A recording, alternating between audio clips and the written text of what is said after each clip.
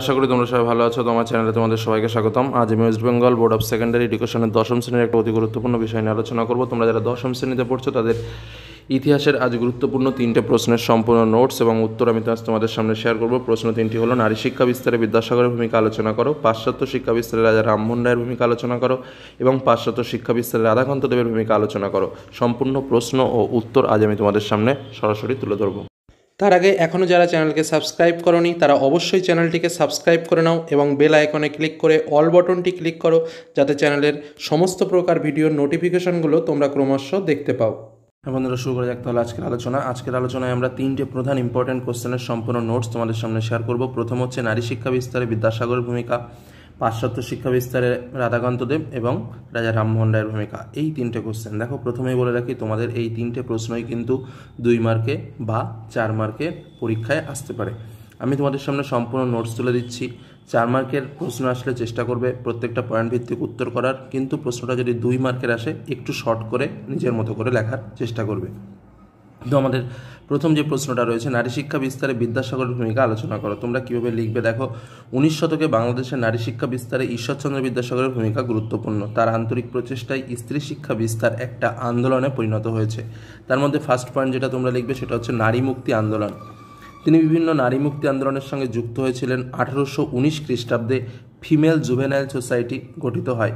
আঠারোশো আঠাশ সালে Miss Cook Calcutta female school গঠন করেন। ঈশ্বরচন্দ্র বিদ্যাসাগর আঠারোশো একুশ খ্রিস্টাব্দে লেডিস অ্যাসোসিয়েশন প্রতিষ্ঠা করেন বা প্রতিষ্ঠিত হয়। ইয়ং বেঙ্গল সদস্যরা ঈশ্বরচন্দ্র বিদ্যাসাগরকে এক্ষেত্রে সহযোগিতা করেন। পরের পয়েন্ট লিখবে, সমাজ সংস্কার আন্দোলন। বিদ্যাসাগর বিভিন্ন কুসংস্কার বিরোধী আন্দোলনে যুক্ত ছিলেন, যেমন বাল্যবিবাহ বন্ধ, বিধবা বিবাহ প্রচলন শৈধব প্রথা নিবারণ প্রভৃতি আন্দোলনের সঙ্গে তিনি নারী মুক্তির পথকে নারী মুক্তির পথকে দেখিয়ে গেছেন। তারপরে যথারীতি তোমরা পয়েন্টটা লিখবে, নারী শিক্ষার জন্য প্রচার, পরের পয়েন্ট করবে তিনি সংখ্যালঘু সম্প্রদায়ের পর্দা প্রথার বিরুদ্ধে শিক্ষাকে এগিয়ে দেওয়ার জন্য, শিক্ষার গুরুত্ব উপলব্ধি করার জন্য নিজেই প্রচারকের ভূমিকা নিয়েছিলেন। পরের পয়েন্ট তোমরা লিখবে, বেথুনকে সহযোগিতা। আঠারোশো উনপঞ্চাশ খ্রিস্টাব্দে বেথুন সাহেব হিন্দু বালিকা বিদ্যালয় স্থাপন করেন, যা বর্তমানে বেথুন স্কুল ও কলেজ নামে পরিচিত। তিনি নিজ ব্যয়ে নিজ জেলায় পঁয়ত্রিশটি বালিকা বিদ্যালয় গঠন করেন। আঠারোশো নব্বই খ্রিস্টাব্দে তিনি ভগবতী বিদ্যালয় প্রতিষ্ঠা করেন। পরের পয়েন্ট লিখবে বিদ্যাসাগরের প্রকল্প। তিনি বিভিন্ন প্রকার বৃত্তি, পরীক্ষা, কলেজ পড়ার সুযোগ সুবিধা, যুবকদের শিক্ষার প্রতি উৎসাহ, প্রভৃতি বৃদ্ধি করেন এবং শিক্ষার উন্নতির জন্য বিভিন্ন প্রকার বই যেমন বর্ণপরিচয়, কথামালা, প্রভৃতি রচনা করেন।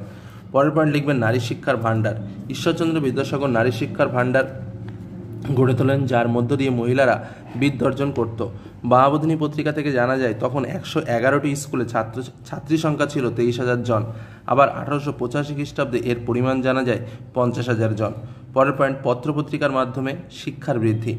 বাহাবদিনী পত্রিকা, প্রজাবৎসল পত্রিকার মধ্য দিয়ে বিদ্যাসাগর নারী শিক্ষার বীজ বপন করেন। নিজের খরচে মেট্রোপলিটন ইনস্টিটিউশন গঠন করেছিলেন। এইভাবে বিভিন্ন উদ্যোগের মাধ্যমে তিনি নারী শিক্ষার বিস্তার ঘটান। তাহলে এইভাবে তোমরা নোটসটা লিখবে। পরের যে ইম্পর্টেন্ট কোশ্চেন আর একটা সেটা হচ্ছে পাশ্চাত্য শিক্ষা বিস্তারে রাজা রামমোহন রায়ের ভূমিকা আলোচনা করো। তো কীভাবে লিখবে? দেখে নাও সম্পূর্ণ নোটসটা পাশ্চাত্য শিক্ষা বিস্তারে রাজা রামমোহন রায় ছিলেন অগ্রগণী।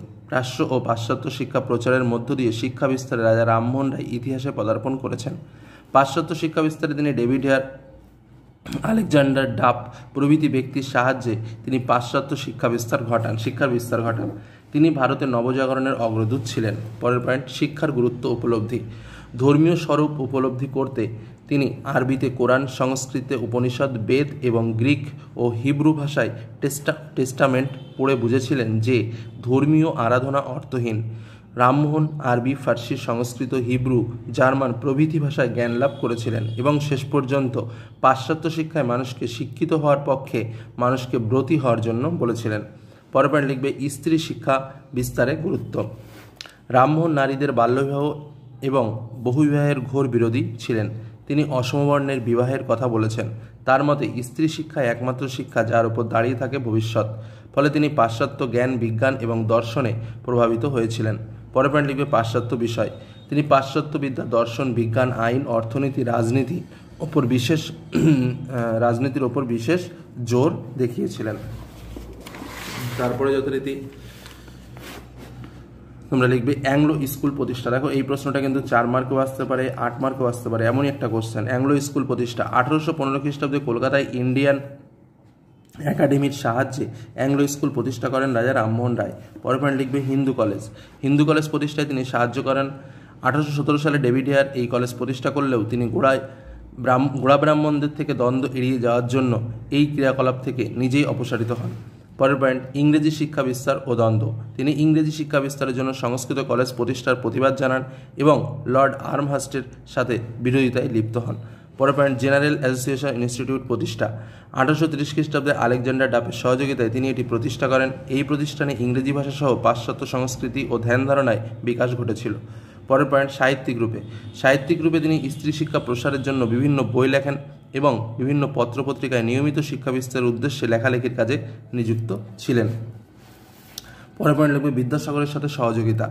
ভারতের শিক্ষা ব্যবস্থার উন্নতি প্রকল্পে তিনি বিদ্যাসাগরের সঙ্গে প্রচুর সঙ্গ দিয়েছিলেন। নবজাগরণের জন্য তিনি প্রাণবন্তভাবে সাধারণ মানুষের সঙ্গে যুক্ত থেকে উদ্বুদ্ধ করেছিলেন। পরের যে পয়েন্ট সেখানে লিখবে পাশ্চাত্য শিক্ষা বিস্তারে রাধাকান্ত দেবের ভূমিকা লেখ। রাধাকান্ত দেব ছিলেন মানে পরের যে প্রশ্নটা, তিনটে প্রশ্ন বললাম, তার মধ্যে লাস্ট কোশ্চেন পাশ্চাত্য শিক্ষা বিস্তার রাধাকান্ত দেবের ভূমিকা।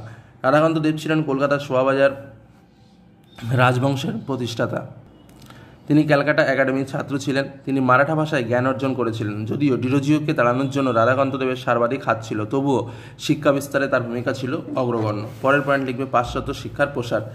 তিনি পাশ্চাত্য শিক্ষা প্রসারের জন্য বিদ্যাসাগর রামমোহন রায় দ্বারকানাথ ঠাকুর প্রভৃতি ব্যক্তির সঙ্গ দিয়েছিলেন। কলেজগুলিকে তিনি ব্যক্তিগত উদ্যোগে ইংরেজি ভাষায় প্রচলন করেছিলেন। ইংরেজি ভাষার প্রচলন শুরু করেছিলেন। পরের পয়েন্ট, হিন্দু স্কুল প্রতিষ্ঠা।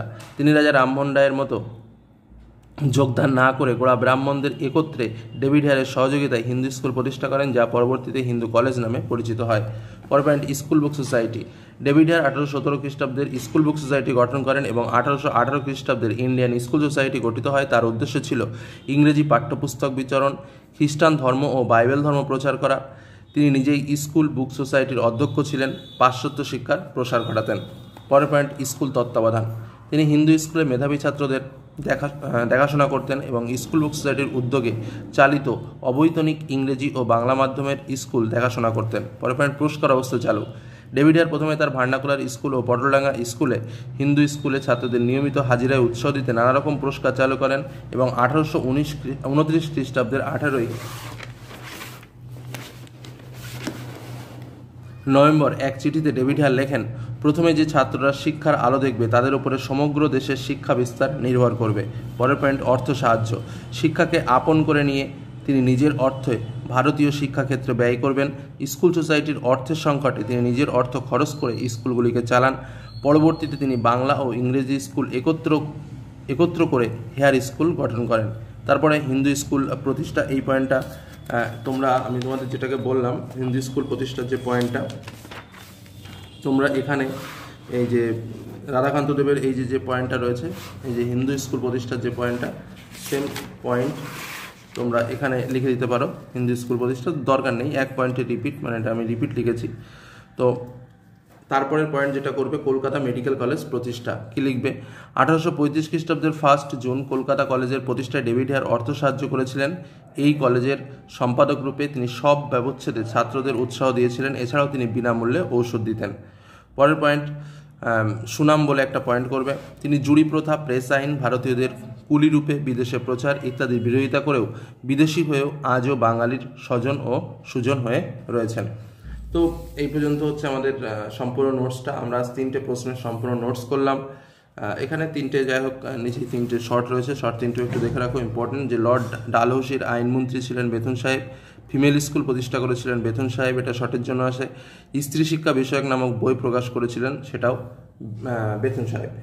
তো এই প্রশ্নগুলো ইম্পর্টেন্ট এর পরের ভিডিওতে আমি তোমাদের তিনটে প্রধান টিকা তোমাদের সামনে তুলে ধরবো। একটা হলো বেদান্ত, একটা শ্রী রামকৃষ্ণের সর্বধর্ম সমন্বয় এবং আরেকটা হলো কলকাতা মেডিকেল কলেজ। আর আজকের মতো আলোচনা এটুকুই। তোমরা এই পয়েন্টসগুলো করো। বারবার বলছি, এই প্রশ্নগুলো দুই মার্ক চার মার্ক এবং আট মার্ক আসতে পারে। তবে প্রথমটা যেটা বললাম, সেটা সাধারণত দুই বা চারেই আসতে পারে। তবে মিডিলে যেটা বললাম যে রামমোহন রায়ের ভূমিকা, এই প্রশ্নটা কিন্তু চার বা আট মার্কে আসতে পারে। অতএব প্রশ্নটা কিন্তু খুবই ইম্পর্টেন্ট আর প্রশ্নগুলো পড়ে ফেলো, পরীক্ষার জন্য খুবই গুরুত্বপূর্ণ। আর তোমরা জানো যে আমি প্রথম অধ্যায় থেকে প্রত্যেকটা অধ্যায় শর্ট কোশ্চেন তোমাদের সামনে তুলে ধরেছি যেটা দেখোনি তারা ডিসক্রিপশন বক্স বা চ্যানেল লিঙ্কে গিয়ে তোমরা লিঙ্ক দেখতে পারো। সেখানে কিন্তু প্রত্যেক অধ্যায় ভিত্তিক সমস্ত শর্ট কোশ্চেন করা রয়েছে এবং বিভিন্ন দুই মার্ক চার মার্ক এবং আট মার্কের কোশ্চেনগুলো ইতিমধ্যে আমি তোমাদের সামনে তুলে ধরা শুরু করেছি। যারা দেখনি, তারা সবসময় নজর রাখবে চ্যানেলের প্লে লিস্টে বা যে ভিডিও নোটিফিকেশনগুলো যায় সেগুলোর দিকে এবং নোটিফিকেশন বেল অন করে রাখবে, তাহলে দেখবে যে বিভিন্ন তথ্য বা কখন কোনটা আপলোড করছে সেটা কিন্তু তোমরা পেয়ে যাবে।